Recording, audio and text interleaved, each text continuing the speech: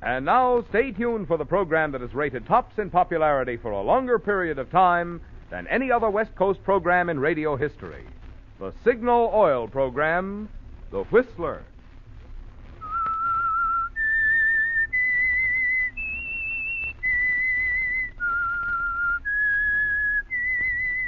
S I G N A L. Signal, Signal gasoline. Signal, the famous Go Farther gasoline, invites you to sit back and enjoy another strange story by The Whistler.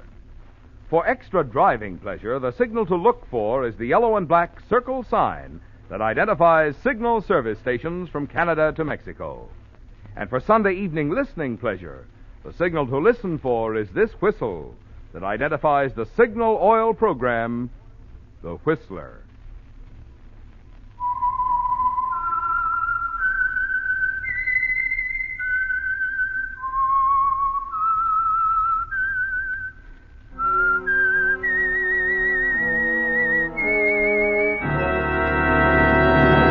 I am the Whistler, and I know many things, for I walk by night. I know many strange tales hidden in the hearts of men and women who have stepped into the shadows. Yes, I know the nameless terrors of which they dare not speak. And now for the Signal Oil Company, The Whistler's Strange Story Patroness of Murder.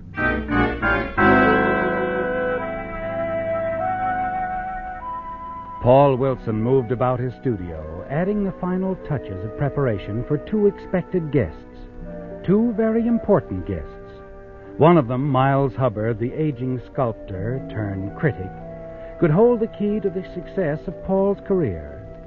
His nod of approval could mean a future of security and position. Without it, the world might never know the talents of Paul Wilson, sculptor. And Paul was certain that his second guest, Don Alden, had arranged this meeting for the sole purpose of getting an expert's appraisal of his work. But it was no gesture of friendship. Paul's meetings with Don had never been friendly. This one would be no exception. Paul was certain of that. Their cold exchange of glances when Paul met them at the door proved that. The forced pleasantries over with, Paul showed them to the studio. And this, gentleman, is my workshop. hmm Fine studio, Wilson. Plenty of room. Good lighting. Everything a room can offer the artist is here. The rest is up to the man himself, eh, Wilson? Oh, that's quite right, Mr. Hubbard. The rest is up to the man himself. I hate to take too much of Mr. Hubbard's time, Wilson. Can we see your work? Whenever Mr. Hubbard's ready, I'll be glad to show him. When one grows old, Wilson, one learns the great wisdom of economy. Economy of time, economy of words, economy of emotion. Oh, yes, it's a great lesson to learn. I tell you this because when I look at your work, I shall have an instant evaluation. Either it will be good or bad, and I shall tell you immediately. It's an honor to have you here, sir. I'm anxious for your opinion. Yes. Well, then, may we see some examples of your sculpture? Now, please. Right now. There you are, gentlemen. My latest. Hmm. Yes. Yes. There is promise here. There is not yet greatness, but there is much promise. Much great promise. Oh, thank you, sir. Thank you very much. You mean it's it's really worthwhile then, Mr. Hubbard? Worthwhile, yes, worthwhile. But promise, that's the word, Don. Mostly there is promise. I'm afraid Mr. Alden has thought of me chiefly as a stonemason, or felt perhaps that I should carve soap. I wanted to be certain, that's all, for Aunt Martha's sake. She's been financing your work for a long time now. She'll be repaid later. Perhaps. If you're as good as you've made her think you are. Uh, Miss Alden thinks well of the young man's ability, Don? Very well. She told me the other evening she's planning to leave him half of her estate so that he can continue his work if anything happens to her. That's why your opinion is so important, Miles. I see. Well, he has the virility, down. You can see it, can't you? And a strong feeling for material. There is much of Mestrovic here. You studied with him, perhaps, Wilson. Uh, not directly, no. Mestrovic? The famous Balkan sculptor, oh, yes. Mestrovic's work is very distinctive, entirely free from the French influence. You didn't study abroad, did you, Wilson? No, no, I didn't. I. Oh, it's you, Michael. Back from your shopping so soon? Yes. Oh, I'm sorry, Paul, your guest. My houseman and helper, gentlemen, Michael Dobovich. Uh-huh. How Gentlemen, do you do, I- Michael? Well, we must go now, Wilson. Economy of time, you know.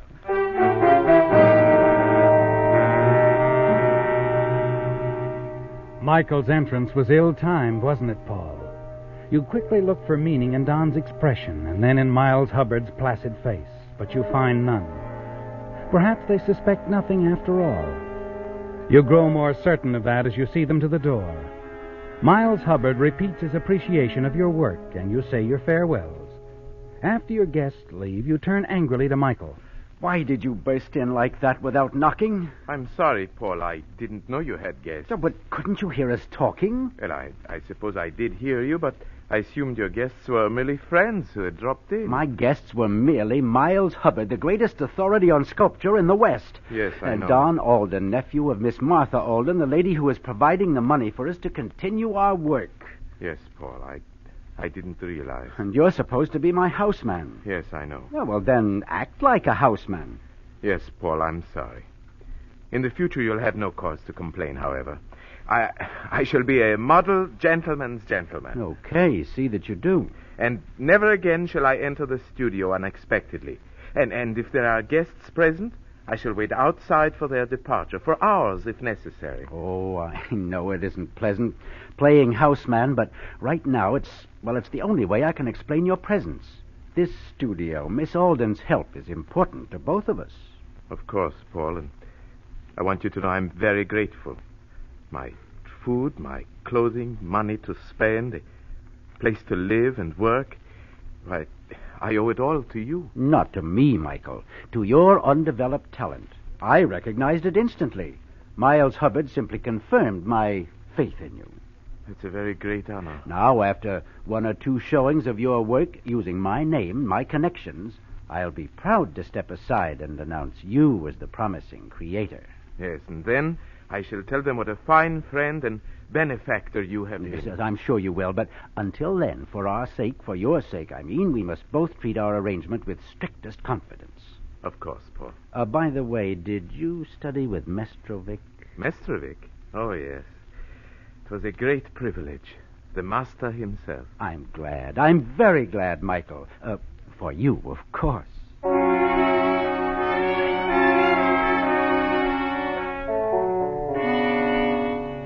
That approach has always worked with Michael, hasn't it, Paul? You've traded on his hunger, his fears, his insecurity in a new land. You won't mind exploiting his promising talent as your own, even though you've convinced him that his obscurity is only for a little while. Yes, things are moving along nicely, aren't they? And your situation looks brighter than ever. A few days later, Linda Wells, attractive secretary to Miss Martha Alden, your kindly, elderly sponsor, phones you. Hello? Hello, Paul.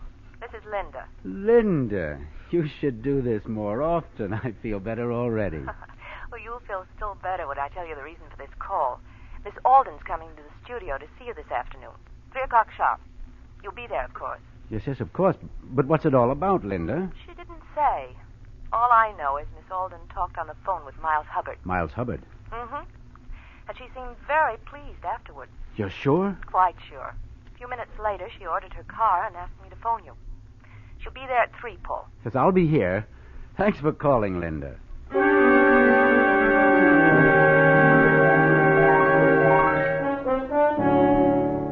Well, Paul, the critic, Miles Hubbard's visit to your studio with Don Alden, Miss Alden's nephew, has rebounded to your interest, hasn't it?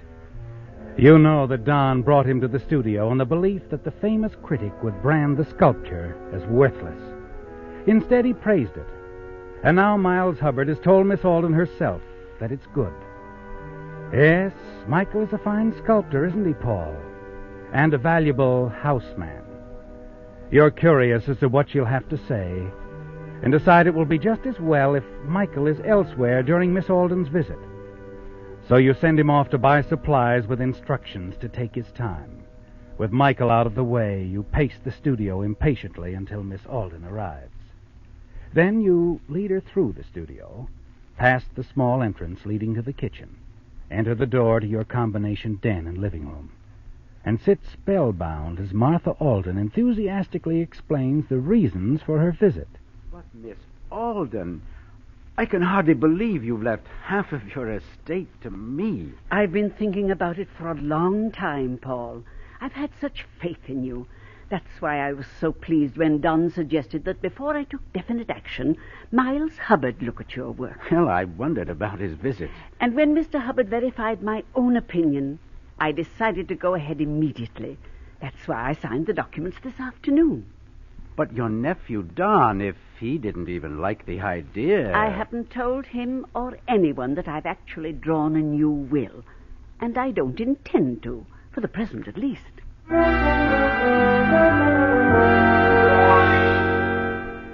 Well, Paul, it's no longer a question of maybe.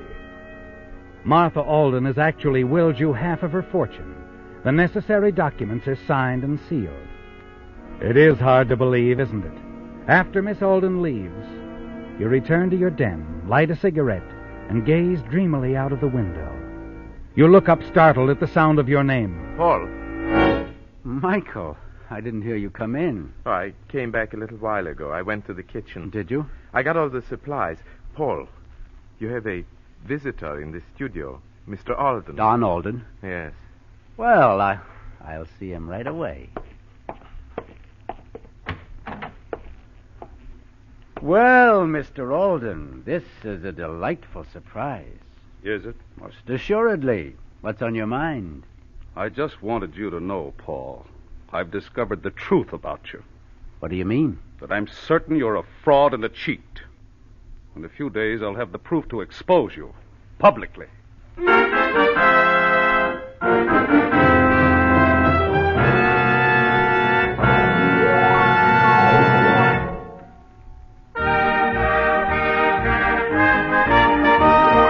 Tonight's $20 Signal gasoline book goes to Mrs. C.E. Grindell of Seattle, Washington, for this limerick.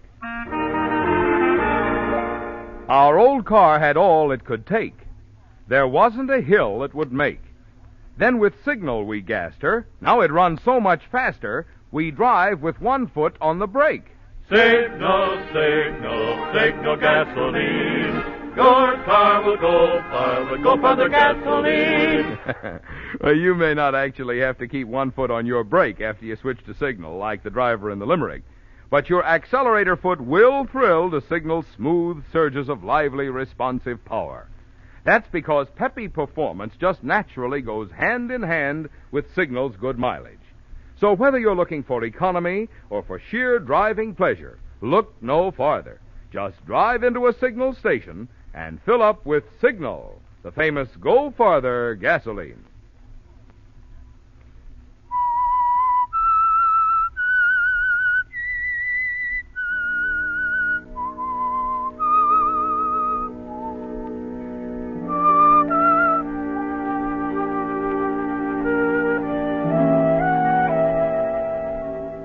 You reel under the impact of Don's words, don't you, Paul? He's called you a fraud. He says he expects to prove that you're a fraud. You return his steady gaze and hope the fear and panic that you feel doesn't show on your face. You've got to keep your nerve, your composure. You need it now more than ever as Don continues to build his case against you. It seems such a coincidence, Paul, that your work showed a distinct Mestrovic influence, especially since I've learned through his immigration papers that your houseman, Michael, comes from virtually the same section of the Balkans as the great sculptor himself. Huh, As you say, a coincidence. This uh, cable I've just sent might interest you. I doubt it. I think it will. It's addressed to Mestrovic in Belgrade, asking a very simple but very important question. Was Michael Dobovich ever a student of yours? Your answer important to his career. Interest you? It's too ridiculous. When I get the answer I expect, I'm certain Aunt Martha will see her protege in an entirely different light. The instant I hear from Mestrovic, I will tell Aunt Martha everything. And you'll be finished, Paul. you'll be completely finished.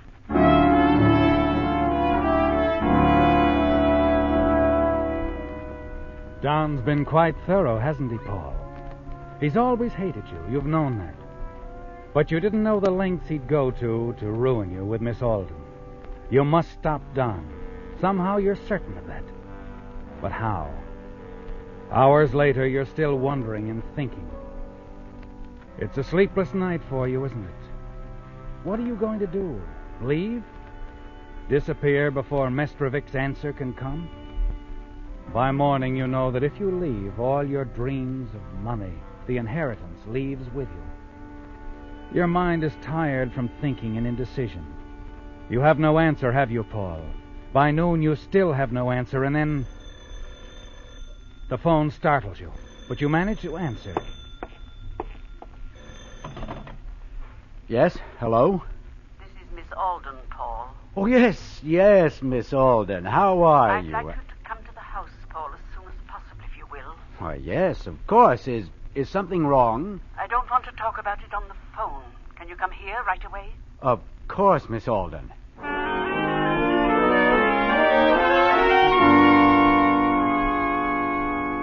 You're breathless when you arrive. Miss Alden takes you to her upstairs sitting room where she asks a question of her own. Paul, who is Michael Dubovich? So Don has told you. You can't believe him. It isn't true. I've done the work, Miss Alden. I've done it all. Michael is just what he seems to be. He's a student. Where is Don? I. I've tried to locate Don. I don't know where he is right now. But he has told me nothing, Paul. Yes, but then this how. cablegram addressed to Don. I opened it. He's never received a cablegram before. I thought it might be important. It seems to be very important. You don't understand, Miss Alden. You must let I me. I didn't ex- understand any of it at first, Paul. I'm just beginning to realize, and it isn't easy to admit I've been a fool. But I have, haven't I? Please, Miss Alden, you must believe me. Paul, I- how can I? Your own first words when you came in told me the story. It had never even occurred to me that you were using Michael. For... What are you going to do, Miss Alden? You haven't left me any choice, Paul. I'll change my will, of course, but Change your will. of course. Surely you don't expect You're me to. not going to change that will, Miss Alden. Paul. Paul, what are you going You're to do? You're not going to get a chance to change that will, Miss Alden. Martha Alden's will can't be changed now, can it, Paul? It's beyond the reach of any change. Yes. She met her death when you pushed her down the stairs. And her position will make her death appear to be an accident.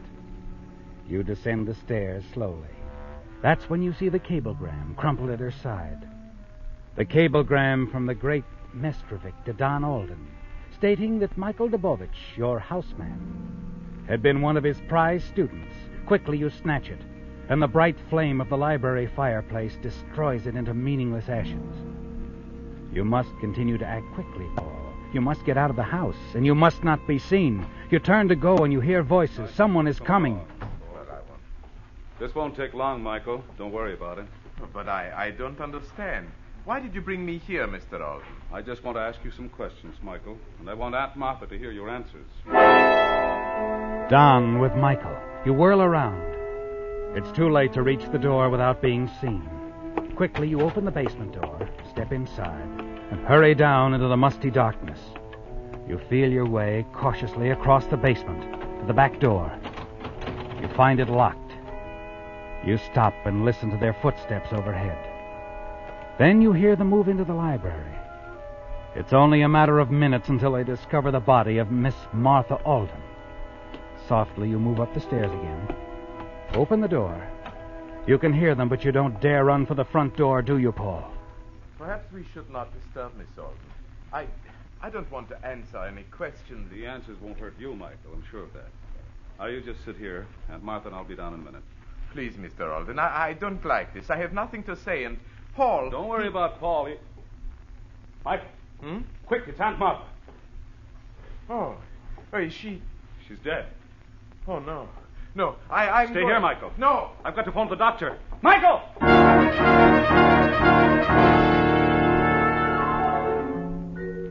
Michael seems to be running now, out of the house, Paul. And as Don hurries in the other direction to phone, the side door is free for your escape. You dash out into the winter darkness. Michael will be going home, and you must be there first, Paul. You race down the dimly lit street, hail a taxi at the next boulevard. Nothing matters now, Paul, so much as beating Michael home. And you do it. You're stretched out reading when he enters and pours out the tragic story of finding Miss Alden's body. You stand up well under the uh, shock, but Michael's overcome. Poor Miss Alden. It was so terrible, Paul. And, and Mr. Alden, I'm so sorry. I don't quite understand why you were with Don, Michael. Well, I, I, I don't really know. He picked me up in his car and drove me straight there. He said there were questions. Paul, what will we do? For now, I think we'll do nothing. Don's taking you there. It's so strange. That's it, Michael. We'll do nothing. We'll say nothing. We wouldn't want to get Don in any trouble.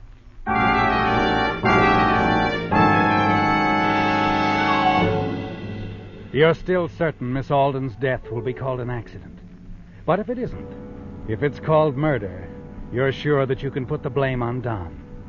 You'd enjoy that, wouldn't you, Paul? His taking Michael to the house will make it seem that Don Alden was badly in need of a witness to uh, discover the body with him. That's quite a coincidence, isn't it? And there was a strong motive for Don, too. He could have killed his aunt to prevent her from changing her will to leave you half of her fortune, a substantial half that would have belonged to him. And best of all, no one knows that Miss Alden had told you she'd already changed her will. It's perfect for you, isn't it, Paul? It will seem that you had no motive whatever, that it was to your interest for Miss Alden to live. You turn on the radio to await developments an hour later. Police have announced that the death of wealthy Miss Martha Alden, previously tabbed accidental, is now believed to be murder. Details are fragmentary, but the position of the body and identifying marks on the staircase have prompted police to begin questioning all concerned.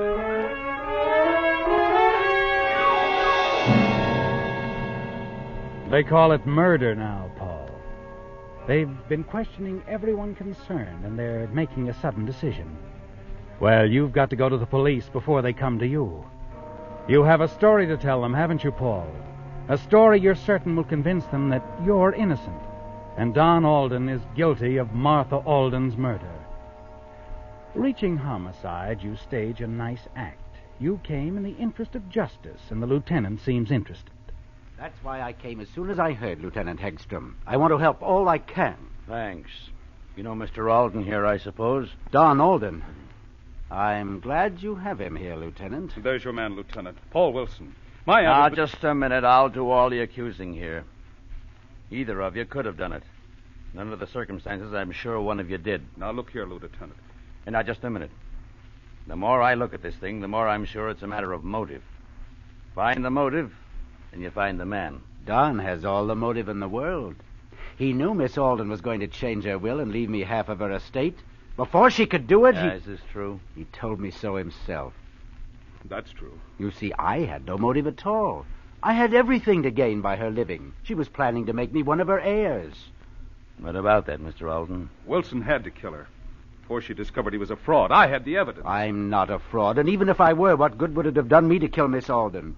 Her living would have given me exactly what her death gave you her money. Alden was there. He even took Michael along as a witness to help him discover the body. He had the motive. What more do you want, Lieutenant? Not much. You know, Mr. Alden, if I were you, I'd be thinking up some answers for the DA.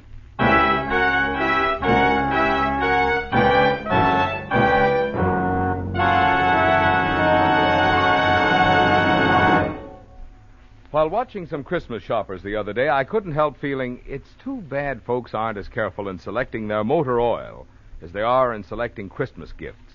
If they were, a lot more drivers would switch to Signal Premium Compounded Motor Oil, the improved type oil that does so much more than just lubricate. You see, because Signal Premium combines scientific compounds with 100% pure paraffin base, it does things for your motor which the finest oil alone cannot do. One of these compounds, for instance, specifically prevents destructive corrosion inside your motor. Another compound in Signal Premium actually washes out harmful carbon. And still other compounds help in other important ways to keep wear down and performance up. So if you want to keep your motor young, get your next oil change at a Signal service station.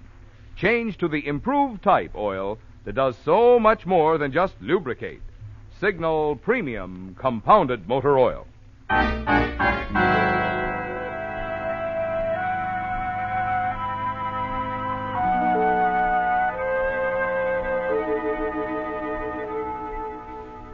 You're in the clear now, Paul.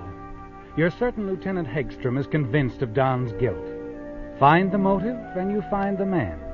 That's what he said, Paul. You're pleased, aren't you? And you know the story by heart that will convict Don as you tell it to the police stenographer for the permanent record. You've just finished and started to go when. Uh, just one more detail, Wilson. Come back a moment, will you? Of course, Lieutenant. Glad to. Why, Michael. Yes, Paul. Paul, I, I, I've been so worried about you. Michael seems to be a very loyal servant, Wilson. Oh, yes. Yes, he is. You needn't have worried, Michael. I'm just fine. No, but he has worried, Wilson. He's worried a great deal. He even thought we might be holding you for the murder. And he came here with something he says proves you couldn't have done it. Well, that's very nice, I'm sure, but. Go on, Michael. Tell him what you just told me. Yes, sir. Uh, I, I told him you could not have done it, Paul. I told him you wouldn't have done it. Uh, how much you thought of Miss Alden after she'd been so kind. How she'd changed her will, left you half of her money. But, Michael, how did. Go on, Michael. Tell Wilson how you knew Miss Alden had already changed her will. You remember, Paul? You told me not ever to burst in on you when you had guests. So that day Miss Alden came to see you, I waited outside the room. I did not burst in, but I couldn't help hearing her tell you she changed her will that afternoon to give you half her money. Paul? Paul, have I done something wrong? I'll answer that, Michael. You've done something right. Alden told the truth. He's the one without a motive. You lied, Wilson. You had the motive. But, Lieutenant, I. You nev- knew Miss Alden had already put you into her will. You killed her to keep her from cutting out uh, out of your will, out of your inheritance. Like I said, find the motive, and you'll find the murderer.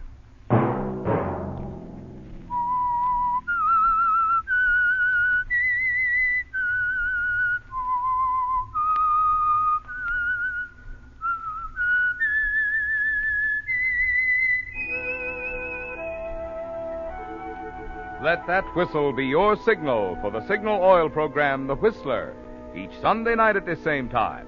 Brought to you by the Signal Oil Company, marketers of Signal gasoline and motor oil and fine automotive accessories.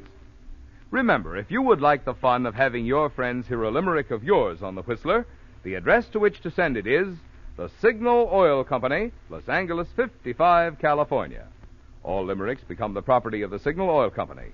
Those selected for use on the Whistler will be chosen by our advertising representatives on the basis of humor, suitability, and originality. So, of course, they must be your own composition.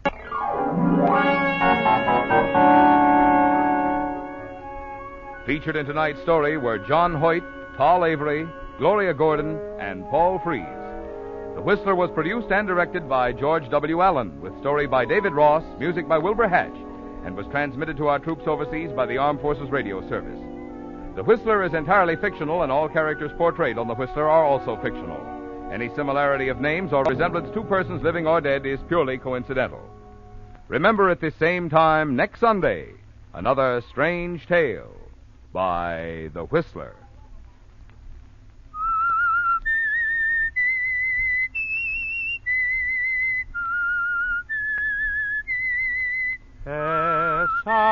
S-I-G-N-A-L Signal, signal gas.